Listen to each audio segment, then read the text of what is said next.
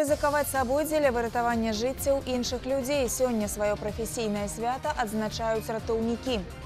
Праваслаўныя хрысціяне святкуюць вадохрышча ў новай купелі ў 103 асобнай гвардзейскай паветрана-дэсантнай брыгадзе акуналіся каля 700 вайскоўцаў. У чашніцкім раёне збіраюць ураджай экзатычнай садавіны. Бананы, апельсіны, лімоны у адной з сядзіб збіраюць круглы год. Такім будзе сённяшні выпуск гэта навіны віцебскай вобласці ў студыі Вольга Шмаргун. Вітаю вас. Завяршылася рэгістрацыя кандыдатаў у дэпутаты мясцовых саветаў 28 склікання.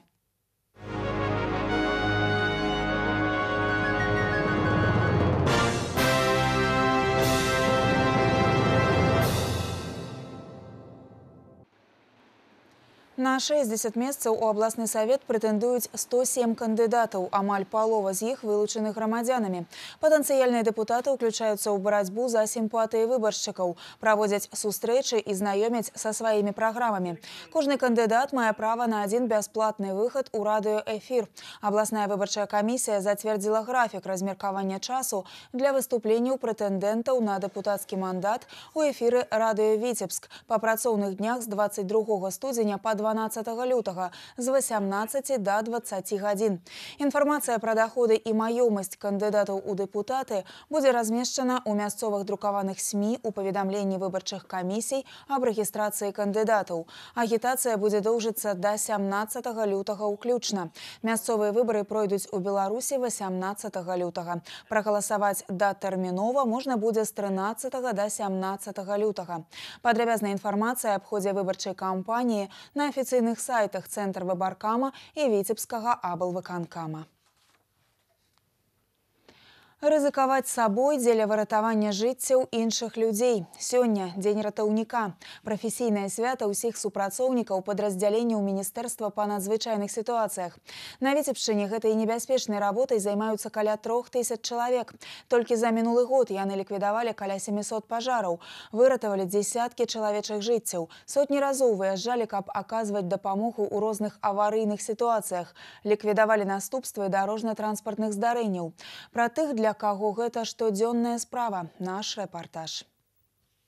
Кожны дзень у пажарна-аварыйна-ратавальным атрадзе віцесь распісаны па хвілінах. Змена суткі, агульнае пастраенне, інструктаж, азнаямленне з аператыўнымі зводкамі са ўсёй краіны, заняткі па фізпадрыхтоўцы і пажарна-прыкладным спорце.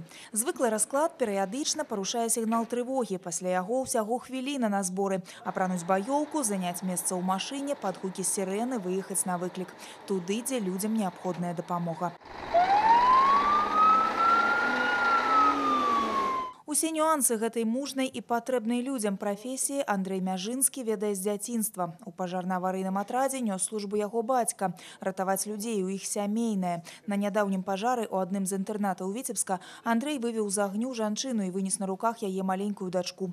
У такія моманты пажарныя не адчуваюць страху. Думаюць толькі пра людзей, што трапілі ў бяду. Страх приходит потом, когда это начинаешь все осознавать а тогда как бы полагаешься только на своих товарищей, на свои умения, на свои знания. Поэтому страшно не было. Единственное, что мы все четко выполняли поставленную задачу, которая перед нами стояла, это именно эвакуация людей с горящего этажа, с верхних этажей. Когда сплоченный коллектив, и ты идешь как бы не задумываясь вперед, потому что знаешь, что у тебя есть на кого положиться. И они знают то же самое, что с ними находится человек, который всегда подставит свое плечо. Сёння ў структуры МНС амаль два дзясяткі спецыяльных службаў, акрамя пажарнай, вадалазнай, кіналагічная, выбухова-тэхнічная і іншыя. Супрацоўнікі хіміка-радыяцыйнай працуюць з дазіметрам у руках. Іх задача ліквідацыя хімічных аварый і радыяцыйных выкідаў. З банальнага выязджаюць на выклікі з-за разбітых градуснікаў. Летась толькі ў віцебску такіх было 130. У ратаўнікоў не бывае выхадных і святочных дзён. Вось і сёння ў прафесійнае свята дзяжурная змена ўсё роўна на пагатове. Дапамога людзям можа спатрэбіцца ў любую хвіліну. Вольга Шмаргун, Леонид Табола, навіны, Віцебск. Не па статусу, а па асабістым жаданні на вадохрышча акуналіся ў новай купелі ваеннаслужачыя. У абрадзе прынялі ўдзел не толькі салдаты і афіцеры 103 асобнай гвардзейскай паветрана-дэсантнай брыгады, а і прадстаўнікі ўнутраных войскаў управлення следчага камітэта, пракуратуры, управлення ўнутраных спраў. Разам з радавымі былі іх камандзіры і начальнікі, усяго каля 700 чалавек.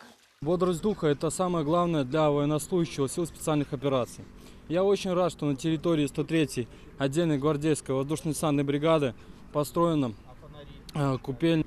Э, уже третий год подряд я окунаюсь.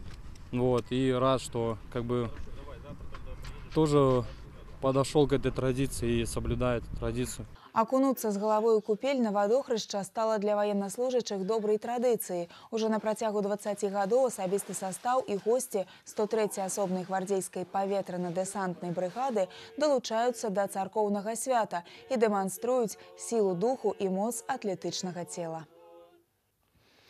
Чэмпіянат сіл спецыяльных аперацый па армейскім рукапашным баі сабраў у абласным цэнтры 50 лепшых байцоў з пяці воінскіх часцей віцебскага гарнізона.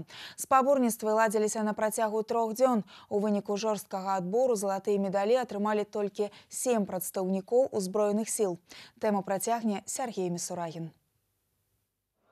Да пачатку баёў засталося некалькі хвілін. У зале віцебскага ЦСК стаіць нязвыклая цішыня. Прэтэндэнты на чэмпіёнскае званне максімальна сканцэнтраваны. Сіл на размовы практычна не засталося. На працягу двух дзён ішлі адборачныя паядынкі, дзе жаласці да сапернікаў не было. Пяць воінскіх частак дэлегавалі на чэмпіянат сваіх лепшых байцоў, якія таксама прайшлі папярэдні жорсткі адбор. І зараз кожны паядынак як выклік без права на памылку. В каждом весе у нас э, в финальном поединке сейчас является мастер спорта. Либо по борьбе мастер спорта, либо мастер спорта по боксу. Как бы ниже уровня нету. Ну и соперники, оппоненты, как бы кандидат мастера спорта это самое маленькое звание у нас. Армейскі рукапашны бой спецыфічны від спорту. Ён спалучае ударную і кітковую тэхніку. Спартсменам трэба быць рознабакова падрыхтаваным, каб спыніць націск саперніка і навязаць сваю манеру весці паядынак. А таму у кожнага вайнаслужачага свае сакрэты падрыхтоўкі, каб вытрымаць трохдзённы байцоўскі марафон. В 103-й бригаде к рукопашному бою у нас, в принципе, довольно-таки серьезно относятся. Вот, и тщательно готовимся. Особое внимание уделяем на ударную технику, борьба. делаю за недели три сборы. Ну и все, и там тренируемся. Ну там все идет, э, борьба идет, э, удары руками, ногами. Ну и силовая, как бы, тоже там качаемся. Фінальныя баі нікога не пакінулі абыякавымі. Спартсмены імкнуліся паказаць увесь свой арсенал магутных удараў і відовішчных кіткоў. Суддзі шмат разоў звярталіся да відэапаўтораў, каб зафіксаваць імгненныя выпады і контрвыпады сапернікаў. У выніку на п'едэстал узняліся сем лепшых байцоў. Яны складуць касцяк каманды сіл спецыяльных аперацый Віцебскай вобласці, якая ў лютым выступіць на чэмпіянаце ўзброеных сіл Рэспублікі Беларусь. Дарэчы, нашы землякі з'яўляюцца дзеючымі чэмпіёнамі гэтых стартаў і сёлета будуць імкнуцца адстаць стаять и подтвердить свое лидерство. Сергей Мисурагин, Станислав Дудин, Новины Витебск. Адразу сем чалавек атрымалі траўмы ў выніку аварыі ў аршанскім раёне. Мікрааўтобус і легкавы аўтамабіль сутыкнуліся ўчора раніцай на трасе каля вёскі купелка. Па папярэдняй інфармацыі прычынай дарожна-транспартнага здарэння сталі неспрыяльныя умовы надвор'я. З пачатку года на дарогах Віцебскай вобласці пацярпелі паўтара дзесятка чалавек. Яшчэ сем загінулі. Пры гэтым інцыдэнты на праезжай частцы часцей за ўсё здараюцца паміж вадзіцелямі і пешаходамі. Як прымірыць Прымірыць і засцерагчы абодва бакі дарожнага канфлікту раздумвае дзяржаўтаінспекцыя. На дарогах вобласці ў сярэднім раз у 2-3 дні гіне пешаход. І справядлівасці дзеля трэба сказаць, у большасці выпадкаў менавіта пешыя удзельнікі дарожнага руху часцей вінаватыя ў аварыях. Супрацоўнікі даі гатовыя на ўсё, каб прадухіліць дарожна-транспартныя здарэнні. У якасці эксперыменту на пешаходным пераходзе на праспекце перамогі ў Віцебску устанавілі перыльную агароджу. На працягу цэлага дня інспектары тлумачылі пешаходам перавагі такога рашэння. Вы когда идете, вы э, там смотрите направо, правильно? Правильно, Вам надо да. посмотреть. Мгм. Но если вы задумались, Мгм. там по мобильному телефону Конечно. разговариваете, вы не посмотрите. То есть как и шли, так и пошли. Да, А турникетик вот этот вот, вам Ага. надо два шага сделать Ага. в ту сторону. То есть, соответственно, поток машин, который идет с той стороны, он идет, и вы навстречу ему. То есть, соответственно, вы видите этот поток, который идет, Мгм. этих два шага, которые делаете. Мгм. Ну, и, соответственно, вы их пропустите. Інавацыю перанялі ў гомельскай вобласці. Яна прымусіць пешаходаў і веласіпедыстаў ацэньваць дарожную абстаноўку, а вадзіцелям дазволіць захадзя заўважыць пешахода. Для гэтага дадаткова тут устанавілі святло адбіваючыя шчыты.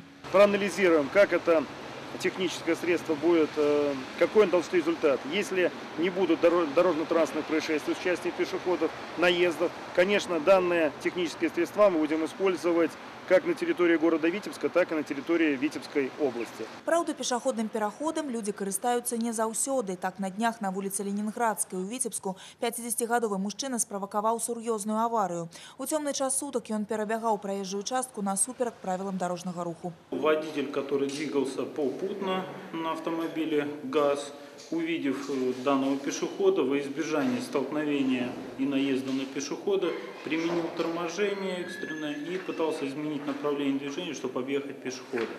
В результате чего данный автомобиль э, опрокинулся на левую сторону, после чего попутно автомобиль еще Audi 80 во избежание опять же наезда на этого пешехода он начал перебегать, применил торможение, изменил направление движения и совершил наезд на дорожное ограждение Віноўнік аварыі спрабаваў збегчы з месца здарэння, аднак яго затрымалі самі вадзіцелі. Аказалася, у крыві смельчака было 3,39 прамілі алкаголю. Гэта цяжкая ступень ап'янення. Дагэтуль яго неаднаразова прыцягвалі да адміністрацыйнай адказнасці. Вас два раза привлекали как пешеходы 2010-2011 год за переход дороги в неустановленном месте. И один раз раз вас привлекали за управление на велосипеде двигались. Того три раза. Это четвертый раз. Пешаходы прызналі вінаватым у аварыі. Цяпер яму прыйдзецца заплаціць немалы штраф больш за 440 рублёў. Апошнім часам ідзе гаворка пра ўзмацненне адказнасці за такія парушэнні правілаў дарожнага руху. Больш суровае пакаранне можа чакаць і вадзіцеляў, якія не прапускаюць пешаходаў і перавышаюць хуткасны рэжым. Пытанне вынесуць на грамадскае абмеркаванне. Ольга Шмаргун, Леонид Табула, навіны, Віцебск. Да іншых тэм. У Чашніцкім раёне збіраюць ураджай экзатычнай садавіны. Бананы, апельсіны, лімоны. У адной з сядзіб збіраюць круглы год. Праўда, вымяраецца ўраджай не тонамі, а кілаграмамі. Але і гэтага гаспадарам дастаткова, каб забяспечваць сябе і не толькі вітамінамі ў любую пару года. У тым, што адпачыць пад пальмамі можна нават у паўночным рэгіёне, упэўніліся нашы карэспандэнты. Это у нас каламандин, цитрус милтис. Нравится ему здесь у нас в оранжерее, хорошо плодоносит. Трапічны аазіс тут з'явіўся 7 год таму. Пад зімовы сад адвялі 12 сотак. Экзатычная садавіна на гэтай аграсядзібе дае ўраджай незалежна ад пары года. Каб паўднёвыя расліны на поўначы Беларусі адчувалі сябе як дома, патрэбны пэўны клімат, нават калі за акном мінус у трапічным садзе стабільных 20 градусаў цяпла. Насчет бананов э, мы никто не ожидали, что они будут плодоносить. А Потом инжир у нас очень долго приживался, и все-таки мы добились результатов, что сейчас у нас урожаи хорошие. Конечно, это для того, чтобы гость мог какое-то живое свое участие принять э, в, в жизни усадьбы и попробовать, и даже с собой что-то увезти. Те же лимоны, мандарины, бананы, пожалуйста. Адпачыць пад пальмамі прыязджаюць госці з розных краін: Расія, Кітай, Японія, Германія. Толькі ў мінулым годзе трапічны адпачынак на поўначы Беларусі выбралі не менш за 800 турыстаў. Шматлікія ўдзячнасці ў кнізе водгукаў, у тым ліку за свежы сок і хатняе варэнне. Первые эмоции, когда человек заходит сюда, ну, если передать э, словами, то это что-то на вроде «Ого!». Туристы из Германии говорили о том, что здесь зеленый рай, называли Green Paradise. У агранамічных планах частаваць гасцей і ананасамі з асабістага участка, а пакуль самы час збіраць ураджай цытрусавых. Гарбата з хатнім лімонам, кажа гаспадыня, правераны сродак не толькі для падтрымання імунітэту зімой, але і добрага настрою. Віктор Праліч, Марына Рамановска, Александр Петравецкі, навіны Чашніцкі раён. На гэтым наш выпуск завершаны. Я з вамі развітваюся. Усяго добрага. Да сустрэчы.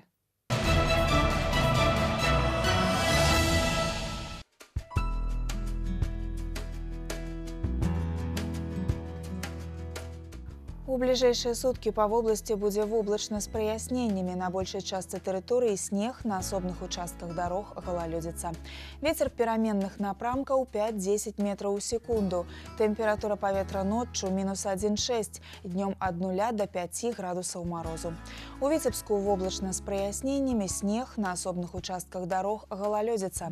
Тэмпература паветра ўначы мінус 3,5, днём 1-3 градусы ніжэй за 0.